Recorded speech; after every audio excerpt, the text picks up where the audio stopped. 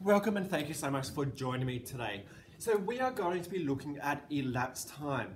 Now elapsed time just means the time something has taken. So as when we're thinking about how long something takes, the best thing to use is a number line or we can call it a timeline. So the first thing I would like us to do is think about our starting time. Our starting time is 5.26. Now, I always think about how many minutes to the, the next hour. So I know the next hour is going to be at 6. 6 p.m. I also know that in an hour we have 60 minutes. So 60 take 26, I have jumped 34 minutes.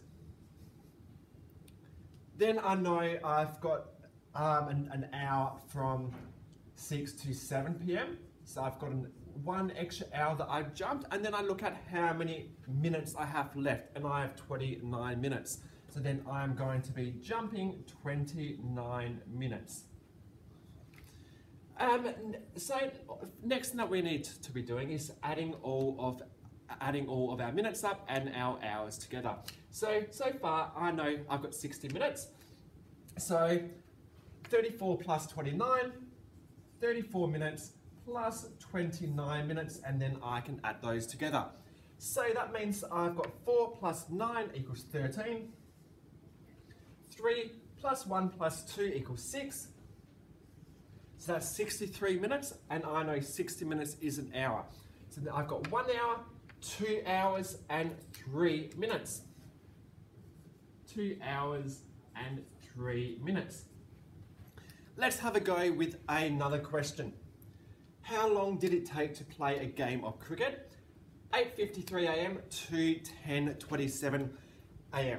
First thing I'm going to be doing is doing a number line or we can say a timeline. I am then breaking it down into smaller chunks. So I know I'm starting at 8.53. How many minutes to the next hour? I know the next hour is at 9 o'clock. And that is just adding 7 more minutes. I can also go 60, take 53 equals 7. Then I look at, oh, I'm going to the next hour, it's that's 10. So I'm adding one hour. And it takes me to 10 a.m. Then the next thing I need to think about is how many more minutes um, till 10.27, and that is, is 27 minutes, because I'm already at 10 o'clock. So I'm adding 27 minutes to get to 10.27.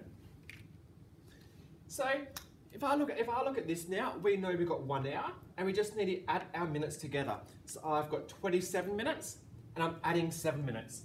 So 27 plus seven, seven plus seven equals 14, carry the one. Two plus one equals three. So that gives me one hour and 34 minutes. So how long did it um, take me to play a game of cricket?